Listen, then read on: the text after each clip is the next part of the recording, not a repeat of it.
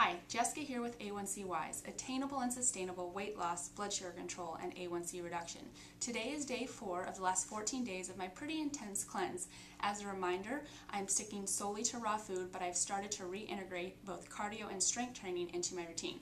Feel great, look great, woke up with a blood sugar of 80. After the gym, I was 71, then I was 106, and I just took it again, and I was 81. So I am so excited about the progress that I'm making. And that's really why I'm sharing it with you. Of course, my goal and my intention is to completely heal my pancreas and no longer have type 1 diabetes and be insulin dependent.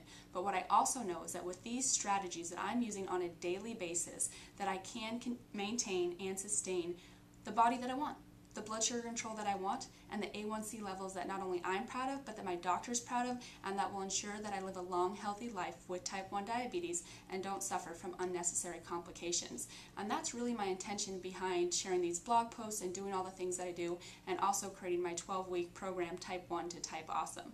So what I wanted to touch on a little bit today, and I've touched on it before, is the importance of tracking and measuring and testing everything.